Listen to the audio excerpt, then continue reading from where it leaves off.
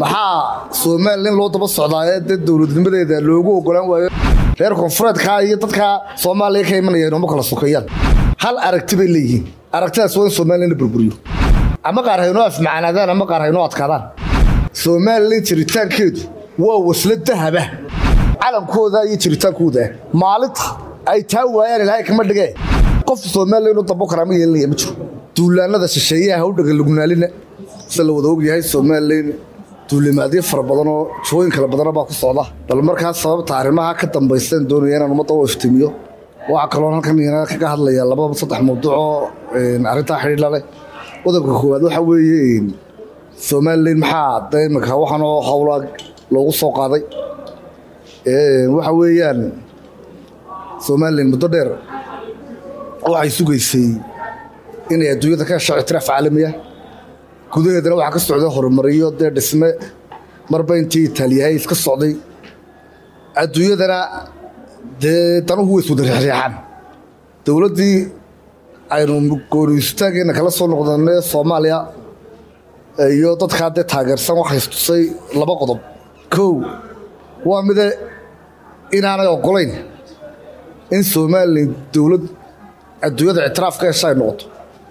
Inagoo sababtana sheegi doonna waxaa kale oo dadkaa beeshaa jooga istusay inaan somalilan iyadoo dowladnimadeedaasi jirto oo shaqaynaysa aanay suurtagal ahayn in midnimo lagu qasbo. Sidaa darteed waxaa la goostay in somalilan la burburiyo dowladnimadeeda si aanay aqoonsina u helin dadda jiritaankooda iyo danahooda ilaashan karayana aanay u noqonin. Haddii la isweydiin karo maxaa somalilan loo daba socdaa ee dee dowladnimadeeda loogu ogolaan waayo muqdisho ay uga hadhi laadahay somalilan waxay ku taallaa waddankii soomaaliya markii hore lo odhan jiray intii istaraatiijiga ahayd iyo inta adduunyadu danaynayso intaasunbay u baahan tahay muqdisho inay dowladnimadeeda ku qurxaysato mooyaane. Allo wax kaloo intaresto ay somalilan u haysaa ma jiro. Wax allo xuquuqa oo ma jirto.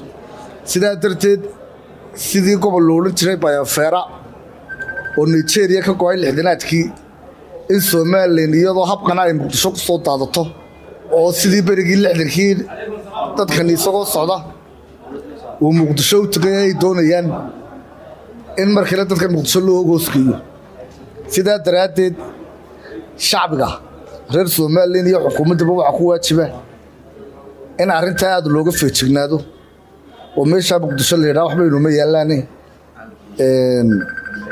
dee la yska ilaaliyo? Mu'aamaradaha joogtadaa arrinta ka dhacday gobolka sool iyo laascanood mu'aamaradaasuun bay qayb ka tahay.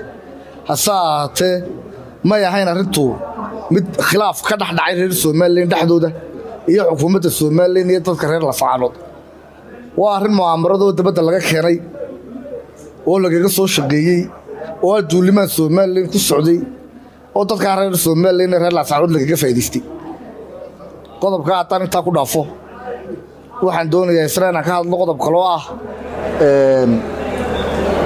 dadka somalilan qadiyaddeeda difaacaya iyo xukuumadda lafteeda. Waxa aad moodaa mararka qaar inaanay wada soconinoo hadalladoodu isdhaafdhaafayaan waxaan odhan lahaa waa in xukuumadda iyo xisbiyada iyo ururada siyaasadda iyo ururada bulshadu ay isu yimaadaan code of conductina ay samaystaan iyo hab ay iska og yihiin. Eray bixinta lagaga fil celinayo weerarada inugu socdana la mideeyaa oo erayo isku mid ah iyo fariimo isku mid inaga baxaan. Haddii kale dee qaladaad baynu gelaynaa dad badan baa dadaalaya. Dad badan baa doonaya inay dee maaragtay ay ummadda baraarujiyaan hase yeeshee waxaad arkaysaa in ereyada isticmaalayaan. Aanay ahayn qaar ujeeddadii ay lahayn caawinaya. Waxaa loo baahanya in ereyadana la mideeyo ujeeddooyinkana la mideeyo. Guddi hagta wacyigelinta guud ee bulshada oo loo dhan yahay oo xukuumadda iyo xisbiyada iyo ururada iyo ururada bulshaduba ay ka midaysan yihiinna la sameeyo. Arrinta kale ka hadlaya waxaa weeye dadkan reer somalilan waxaa mideeya. Magaca somalilan iyo calankaa qabyaalad kumaynaan midoobin qabiil layskumaynaan imanin qabiilku waa waxaa la doonaya in laynuu kala qaybiyo. Maalin walba waxaad arkaysaa dad koonfur ka yimi oo magacyo inoo sheeganaya. Oo la leeyahy kuwan waa reer hebel kuwanina waa reer hebel. Arrintaasi waxay si dadban ugu cadhaysiinaysaa dadkii reer somalilan ay u kala qaybinaysaa. Sida uu dhigayo qodobka sideedaad ee dastoorku gaar ahaan farqadda labaad. Dadka laguma kala saari karo reer somalilan qabyaalad iyo jinsi iyo aragti siyaasadeed iyo deegaan midnaba waxaa reer somalilan ciddii sharcigu siiyey inay reer somalilan yihiin.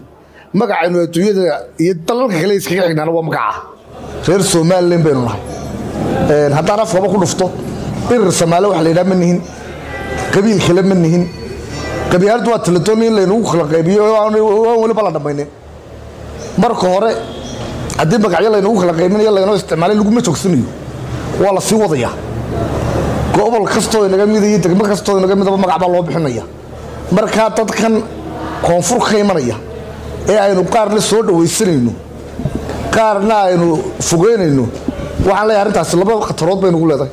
Kow dadkeenni reer somalilan bay kala qaybinaysa ta labaad ee dhibaatadii waxa weeye reer koonfureedkaa iyo dadka soomaaliya ka imanaya inooma kala sokeeyaan hal aragti bay leeyihiin. Aragtidaas waa in somalilan la burburiyo. Aragtidaa inooguma kala dhowaan. Ama qaar haynoo afmacanaadaan ama qaar haynoo adkaadaan markaa bal arrintaale waan baraarujinayaa weliba xukuumadda in wixii dadka kala qaybinaya laga ilaaliyo. Qodobka ugu dambeeyaan ka hadlaya waxa weeye berigii dhaweede waddanku khilaafku ka dhacay. Waa tii la yidhi nimankii buuraha saarnaa la rogay jabhada ahaa arrintaasi oo dhammaateo waa la rogay. Laakiin weli raggaan la rogin baa jira. Raggaasi aan weli la soo rogin waa ragga xisbiyada u saaran buuraha shaydaan ee la yidhaahdo wadisabyada iyo yuutuubarada iyo baraha bulshada. Waxaad arkaysaa qaar mucaarid sheeganaya oo haddana aad moodo inay qaranimadii ka soo horjeedaan waxaad arkaysaa qaar muxaafid sheeganaya oo aad moodo inay qarannimadiiba ka soo horjeegaan oo dadka ka sheeganaya. Xisbiyadana waxaan leeyahay waar haddii beeluhu kuwii buuraha saarnaa soo rogeen idinna kuwii baraha bulshada idin saarnaa ka soo roga. Oo waxaa dadka iska hor keenaya yaan la bumbuulin ha la joojiyo hay'adaha cadaaladda iyo amnigana waxaan leeyahay wax kasta oo ummadda kala qaybinaya waa xaaraan. Xeerka ciqaabta guudna uu ka hadla. Idinna haddaa xeeraalintiiyo biliiska tiin waajibkiina ku toho qofka tiifigaysa soo taaga ee beel u hanjabaya iyo beesha beel dhaleecaynaysa iyo qofka qof muwaadin oo odhanaya cadow buu la socdaa.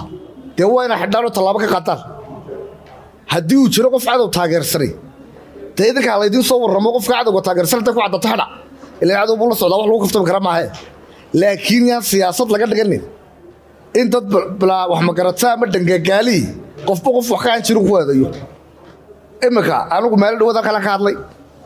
Qaranka somalilan baan ka difaacay. Nin isaqoonin ila soo xidhiidhin. Ayidhi axmed waxau ku hadlayaa ka dhab maahee garaad jaamaca garaad caliga somalilan la dagaalamayaaba runuga dhow ninkaasi ma yaqaano. Meel laba kumaanaa kulmo nin kaloo la mid ah oo hargeysa jooga ayaa isla kii aan la hadlaye xamar jooga somalilan kusuu dule faarax macalihi xaal baa siiyey. Balinimada labada labada labada ma walan mid aniga wuxuu weydiiyey iyo mid aniga ila soo xidhiidhay toona ma jiro. Qof waliba go'aanku doonaabu iska qaadanaya. Waar waxaanu leenahay dadka dadka iska horkeenaya ee ummadda somalilan kala qaybinaya waa in wax laga qabtaa ummaddanna waxa qura wax lagu yeeli karaa waa kala qaybin dhexdeed meel kale oo balaayo uga iman karaysaa ma jirto. Xisbiga talada iyo xukuumadduna ay ku dadaalaan dadka midnimadiisa iyo isuhayntiisa xisbiyada mucaaridkeena len waddankanubay doonayaan inay xukumaan iyaguna waddanka midnimadiisa iyo haddii alla kuu yahay isuhayntiisa ha ka shaqeeyaan. Shacbiga reer somalilanna jiritaanka dalkiisa iyo dowladnimadiisa ha ku dadaalo.